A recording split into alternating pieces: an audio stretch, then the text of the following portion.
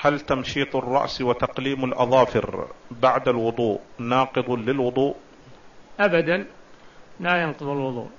إذا قصيت أظفارك عقب الوضوء وضوءك صحيح.